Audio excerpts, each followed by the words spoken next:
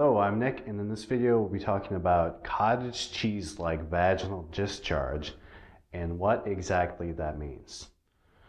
Well, as you may have guessed, if you have cottage cheese vaginal discharge, the primary culprit behind this is candida yeast.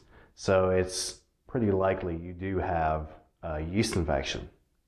There are perhaps no other vaginal conditions that can produce a classic cottage cheese like vaginal discharge. A study published in 2008 in the Journal of Community Nursing lists cottage cheese like vaginal discharge as a primary sign of a vaginal yeast infection. And as far as the smell of this discharge goes, the study states that uh, it will not have any smell at all to it if it is a yeast infection alone. Some other symptoms of a yeast infection in the study listed were an itchy or sore vagina, vulvar swelling, painful sexual intercourse, and fissures on the skin, which are small cuts or tears of the skin. A 2004 study published in the Journal of the American Medical Association also says that a thick, white, curdy vaginal discharge, which of course looks a lot like cottage cheese, is a very strong indicator that you have a vaginal yeast infection. And this discharge will have no smell to it if it is candida alone that's causing the problem. The study also stated that vaginal itching uh, also increases the chance that your vaginal problem is due to candida. And if you have vaginal redness or inflammation, this also slightly indicates that you have a vaginal yeast infection as well.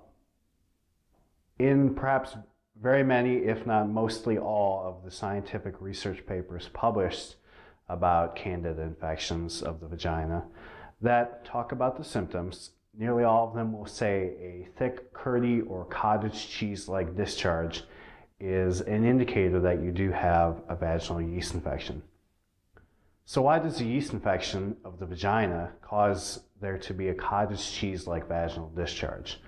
Well, Candida is a white looking yeast, and many species of Candida also grow hyphae or germ tubes.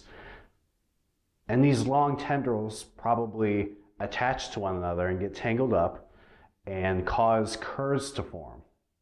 Now, when you have enough yeast, it can start to look like cottage cheese. Some of the yeast have turned into their hyphal form and clumped together and caused curds to form, and some have not.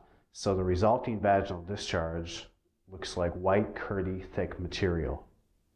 And if you do have cottage cheese like discharge, that probably means you have a lot of yeast in your vagina, and it's probably time to get it taken care of.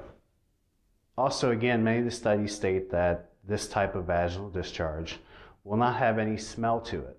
So if you notice the discharge has a strong fishy or high cheese smell, you likely also have a bacterial vaginosis infection as well. The two can happen concomitantly.